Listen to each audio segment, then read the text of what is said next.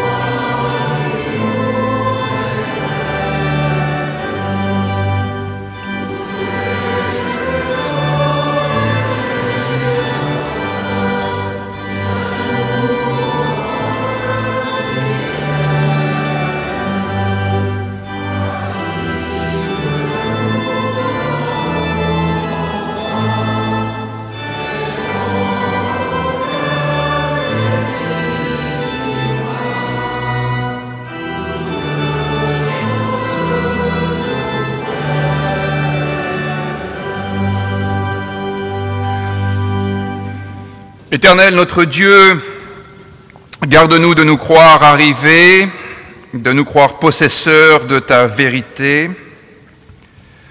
Rends-nous disponibles pour une nouvelle rencontre avec ton évangile, sous d'autres lumières, sous d'autres musiques. Que jamais le passé ne nous enferme, mais que par ton esprit nous soyons prêts à répondre à ton appel comme de véritables enfants d'Abraham.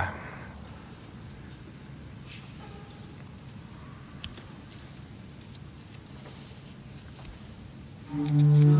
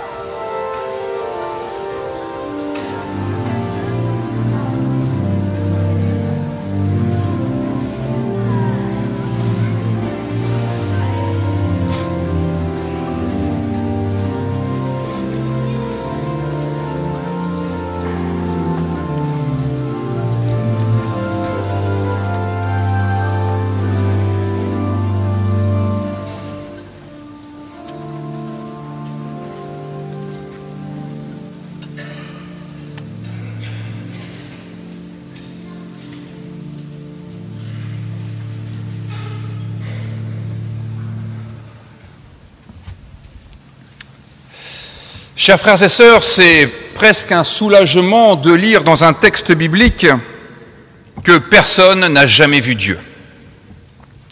Cela correspond tellement à notre propre expérience personnelle, ou plus exactement à notre non-expérience d'un Dieu qui se montrerait, d'un Dieu que l'on verrait face à face, comme c'est le cas entre nous là actuellement. Lire que personne n'a jamais vu Dieu, c'est extrêmement rassurant, mais c'est faux. En tout cas, c'est contradictoire avec au moins ce que l'on peut lire dans le livre de l'Exode. Il suffit de se reporter au chapitre 24 du livre de l'Exode pour y lire ceci. L'Éternel n'étendit point sa main sur l'élite des enfants d'Israël, ils virent Dieu, ils mangèrent et ils burent. On peut aussi penser à ce que raconte le livre des Nombres. Il rapporte que Moïse et l'Éternel parlaient bouche à bouche et que Moïse voyait la forme de l'Éternel. L'auteur de l'épître de Jean nous dit que personne n'a jamais vu Dieu. Il aurait pu dire aussi que personne n'a jamais entendu Dieu. Ce qui nous rassurerait sur le fait que nous pouvons nous affirmer chrétiens sans avoir pourtant jamais entendu la voix de Dieu. Alors que le Premier Testament est constellé de paroles de Dieu et de personnages bibliques qui semblent entendre Dieu aussi bien que vous m'entendez actuellement.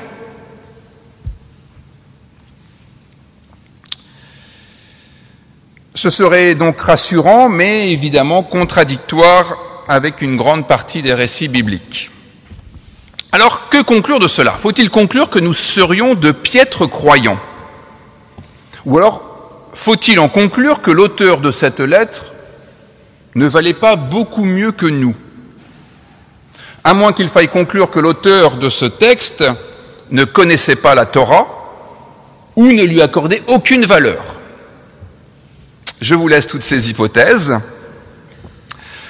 Je retiens dans un premier temps que cette situation, en tous les cas, est assez significative significatif de bien des moments de notre vie spirituelle où nous nous trouvons quand même, avouons-le, en porte-à-faux entre ce que nous croyons vraiment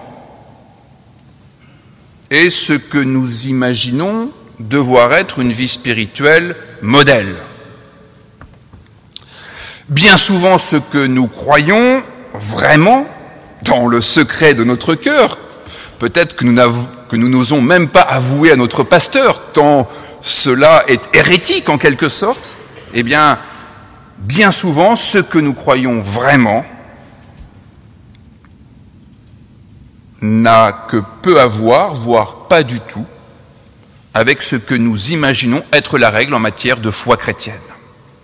Il est écrit que, mais nous, nous constatons à titre individuel que ça se passe autrement. Par exemple, on nous dit parole de Dieu.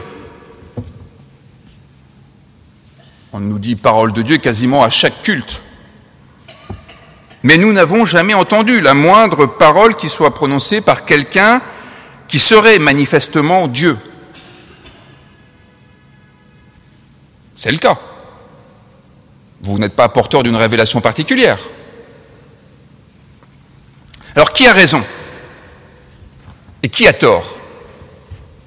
La Bible a-t-elle raison contre nous? Le rédacteur de ce texte a-t-il tort contre le livre de l'Exode?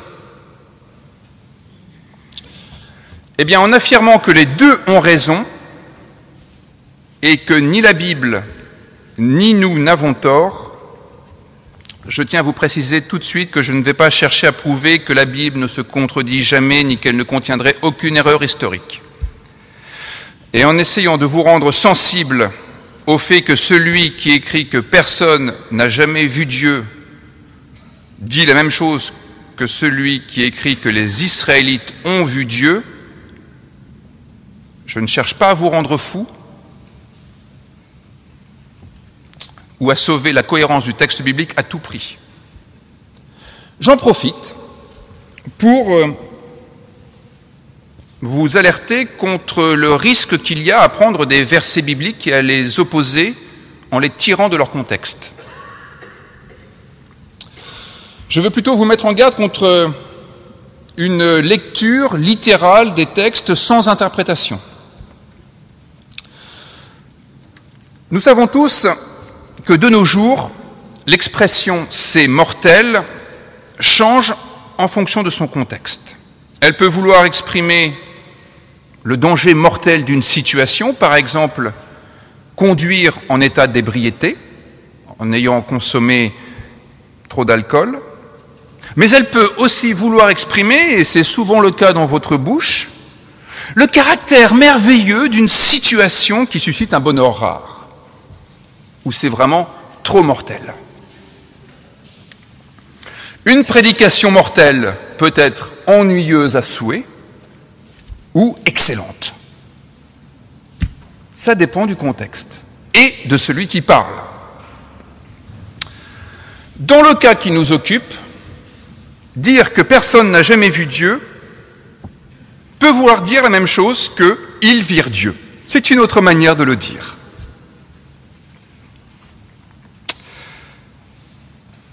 Dans le cas de l'épître de Jean, dire que personne n'a jamais vu Dieu, c'est une manière de confirmer que Dieu n'est pas une chose ou une personne qui pourrait être observée à l'œil nu. On ne peut pas non plus observer Dieu à travers un télescope ou par un oscilloscope. Dieu n'a pas une forme propre comme vous et moi, comme cette table de communion, comme ce temple. Il n'a pas de matérialité propre. On ne peut ni le voir, ni l'entendre, ni le sentir, comme cela est possible pour tout objet ou pour tout, être dont nous avons connaissance. Le fait que nos sens soient incapables d'accéder à Dieu fait dire à certains que c'est bien une preuve que Dieu n'existe pas.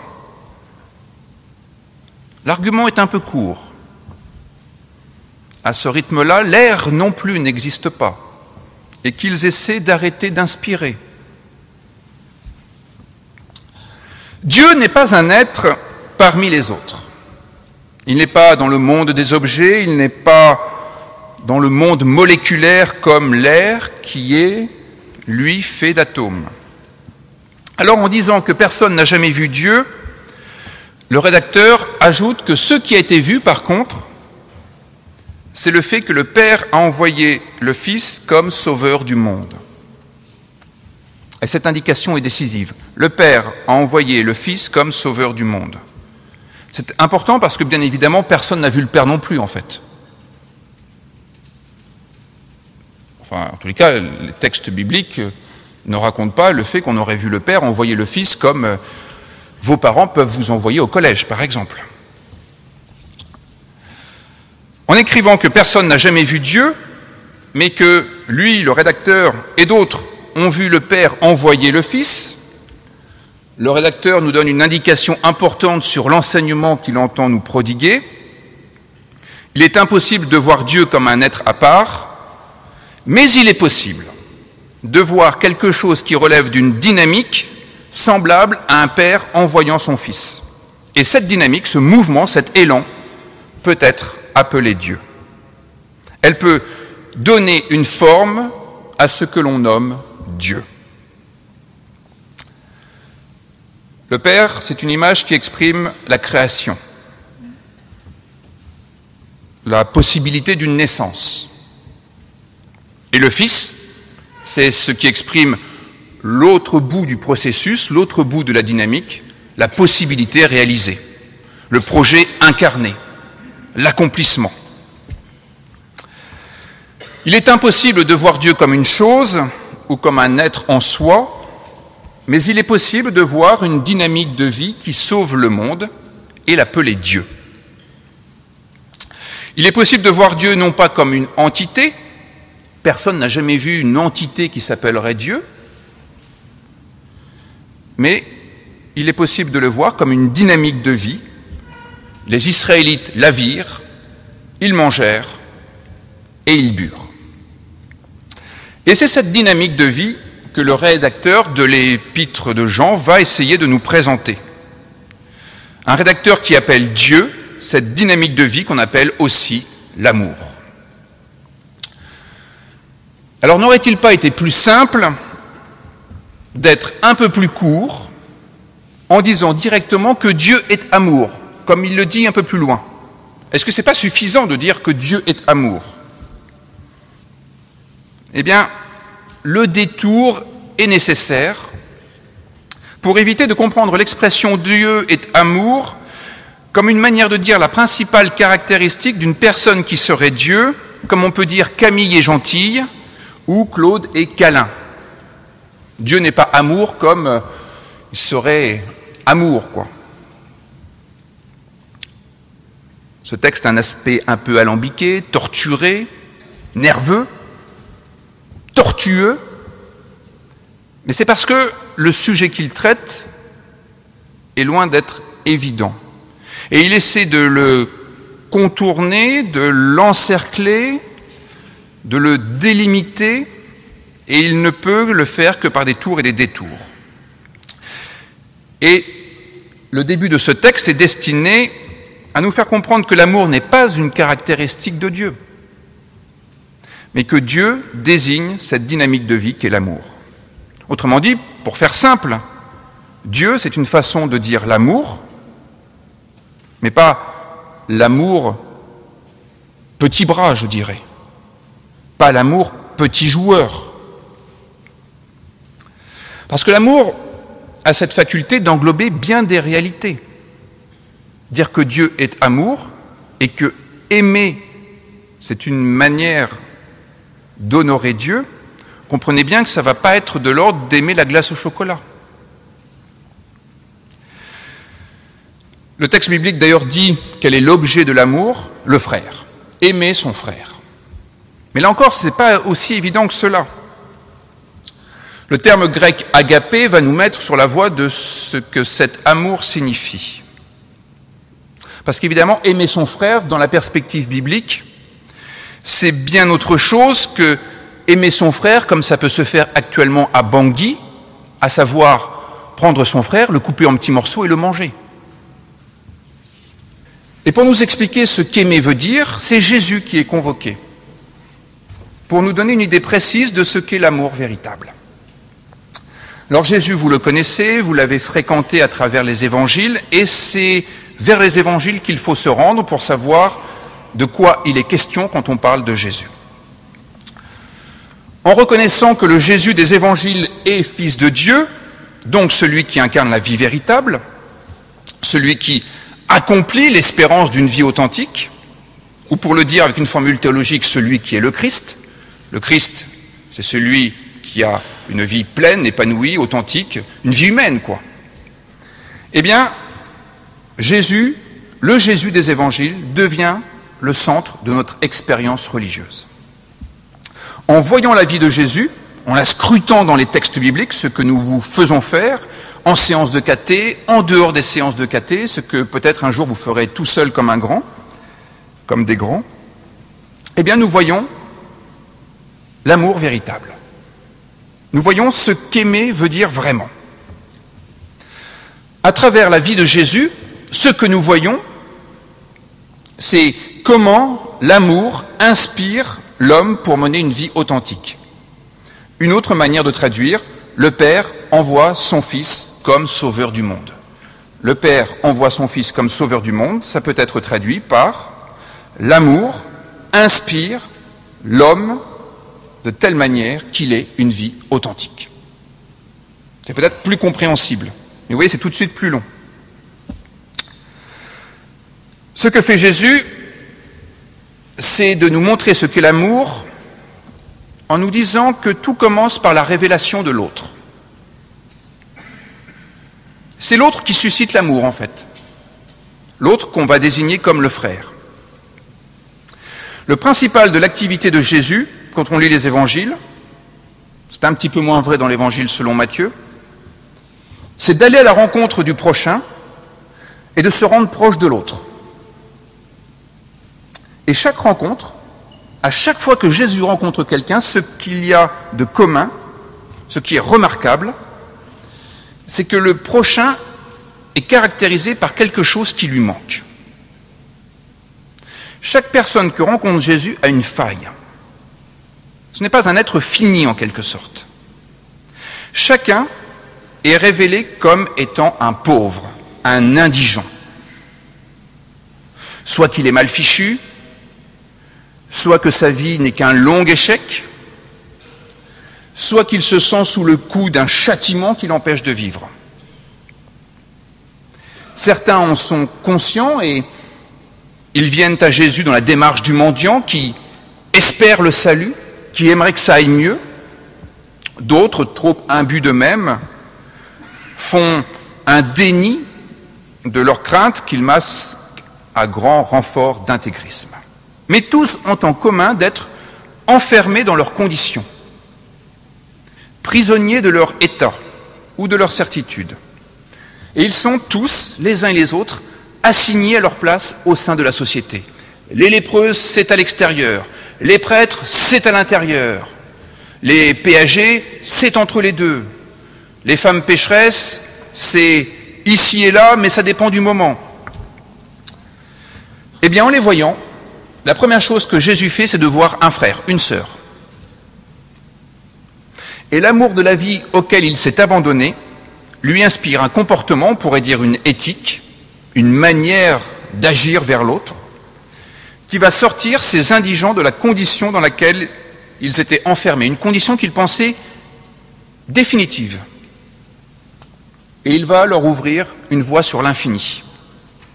Le paralytique peut prendre son grabat. L'aveugle peut devenir témoin. La femme pécheresse peut devenir agent de grâce. L'infâme peut devenir prédicatrice. Le traître, le sale traître, celui qui renie, peut devenir chef de l'Église naissante. Le pêcheur de poissons peut devenir pêcheur d'hommes, l'accusateur peut devenir prophète, Le posséder peut devenir libérateur, les condamnés à mort peuvent enfanter, et même l'eau de la banalité ritualiste peut provoquer la joie de l'inattendu. Cet amour-là est divin, qui ouvre sur l'infini d'une vie renouvelée, au lieu de figer, d'entretenir un état qu'on imagine, voire qu'on souhaite définitif. Et entendez bien ce qu'aimer veut dire. Ce sera important dans vos relations amoureuses, car il s'agit d'avoir personnellement une relation amoureuse qui ne soit pas simplement de l'ordre de l'amourette, mais qui soit un amour à hauteur de Dieu. Et l'amour ne consiste pas à figer les choses en l'état, à maintenir le premier instant de la rencontre amoureuse, mais à ouvrir une voie infinie d'une rencontre qui n'arrête jamais de se perpétuer. Cet amour-là, l'amour manifesté par Jésus est divin, qui est inconditionnel, qui ne dépend ni de notre bon vouloir, ni de nos sentiments du moment, mais qui offre à celui qui se présente ce dont il a fondamentalement besoin pour être un peu plus humain. On ne le répétera jamais suffisamment, Jésus nous invite à ne pas aimer simplement ceux qui sont aimables, il invite à aimer. Point. Infini. Ajoutons que l'amour est une expérience universelle. Tout homme peut être saisi par l'amour, en découvrant face à soi cet autre et en l'aimant, de telle manière qu'il n'ait plus peur de la vie, qu'il soit débarrassé de cette crainte d'exister, de cette peur d'être condamné à ne pas vivre une vie authentique. Vous savez, c'est quand vous rencontrez quelqu'un et que vous l'aimez au moins un petit peu et qu'il vous dit que vous avez profondément changé sa vie. Que jusque-là, sa vie était triste, un peu fade, grisouille, et que maintenant elle est belle, lumineuse. Et qu'il a envie de vivre en fait. Aimer, c'est ce qui donne envie de vivre. Quand vous êtes amoureux, vous avez envie de vous lever le matin.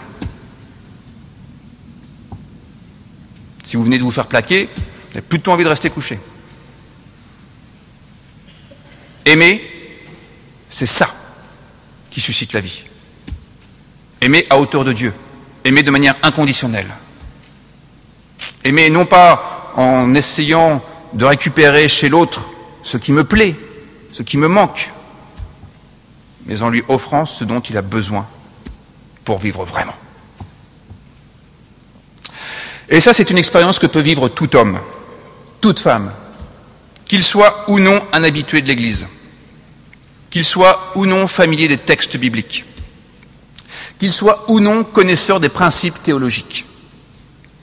Cet amour-là est une expérience profondément religieuse.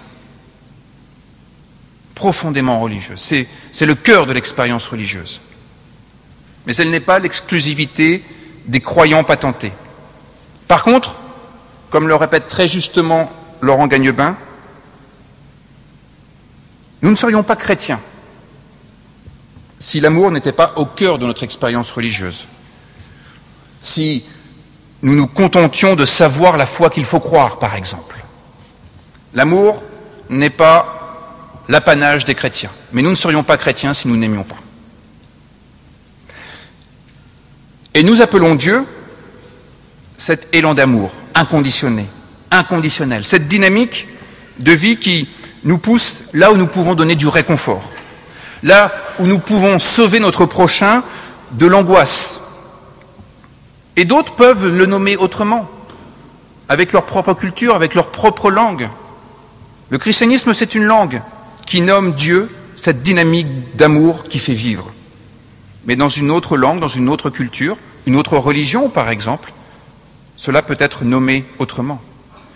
Et dans les non-religions aussi, cela peut être nommé. Au bout du compte, cette expérience-là, qui est le fondement véritable de toute expérience religieuse, est donc le fondement de toute expérience véritablement humaine. On est vraiment humain quand on a éprouvé cela. C'est l'expérience selon laquelle il est possible de prendre place à la table de la fraternité, de manger et de boire avec celui qui, a priori, est infâme, peu aimable, détestable, peut-être pendable, mais que l'amour divin nous désigne comme un frère ou une sœur. Amen.